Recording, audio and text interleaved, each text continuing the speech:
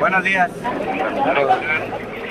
El día de ayer el gobernador Javier Duarte señaló que en ocasiones coincido con lo que declara el diputado Fernando Yunes y propuso que su servidor, Fernando Yunes Márquez, y mi familia nos hiciéramos cargo del equipo Tiburones Rojos de Veracruz, comprometiéndose a sanearlo antes de entregarlo.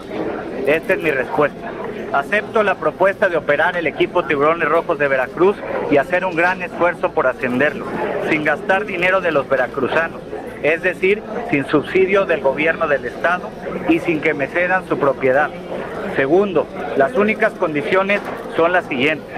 Que Javier Duarte informe cuántos millones de pesos del presupuesto público se destinaron durante los últimos seis años al equipo Tiburones Rojos. Él formó parte del patronato del equipo como subsecretario y secretario de Finanzas y conoce muy bien las cifras.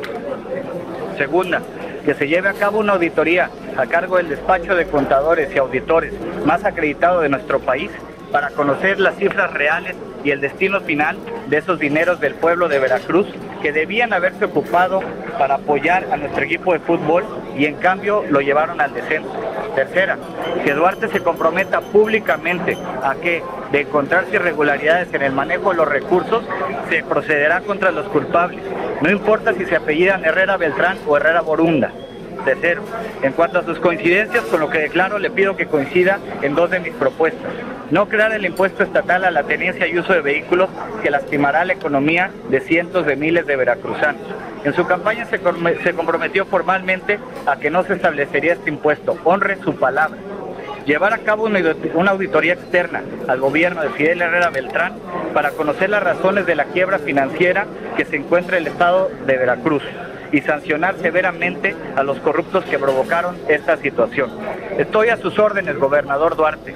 El día que usted determine, nos, nos reunimos para suscribir públicamente los anteriores compromisos ante notario público.